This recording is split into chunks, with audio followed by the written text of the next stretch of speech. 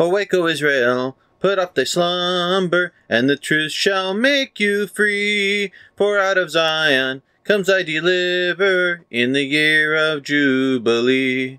Oh, hallelujah! Oh, hallelujah! Hallelujah! Praise the Lord! Oh, hallelujah! Oh, hallelujah! Hallelujah! Praise the Lord! Out of the furnace of much affliction I have chosen you, behold. And so for iron I'll give thee silver, and for brass I'll give you gold. Oh, hallelujah! Oh, hallelujah! Hallelujah! Praise the Lord! Oh, hallelujah! Oh, hallelujah! Hallelujah! Praise the Lord! Thou art my chosen, for I have sought thee, thou art graven on my hand, and I will gather all those I scattered and return them to their land. Oh, hallelujah! Oh, hallelujah! Hallelujah! Praise the Lord! Oh, hallelujah! Oh, hallelujah! Hallelujah! Praise the Lord! Do you want to learn to follow the commands of the Almighty One True God? If you do, go to ChristianCourts.com. There's a free PDF book you can download, audiobook, and video where you can listen and learn God's laws. Make America great again. Help establish Christian law in communities all across the world. God bless you. Politicians are getting involved in religion.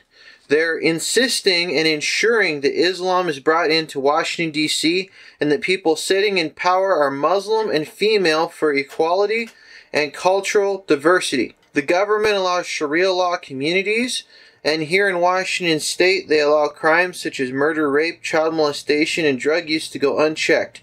The state of California is trying to outlaw the Bible and any other books that speak out against homosexuality, all the while disarming us, good people, so that these criminals can take advantage of us.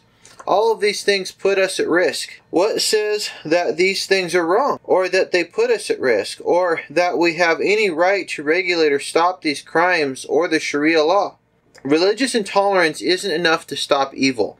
There must be an unchanging, unlegislated standard that we can use to benchmark evil and good and to protect good people from evil. Today, good people are defined as homosexuals, lesbians, bisexuals, potheads, abortionists, Muslims, and liberals, and meth addicts. Good and evil used to be defined by the Bible.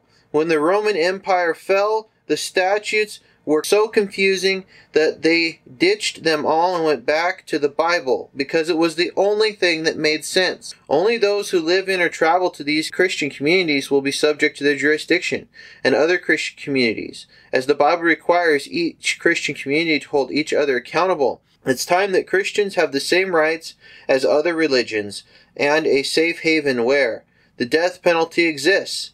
The right to bear arms exists Rape, murder, and other abominations are not tolerated, where children can be brought up in the Word of God and not forced to learn Common Core or other religions.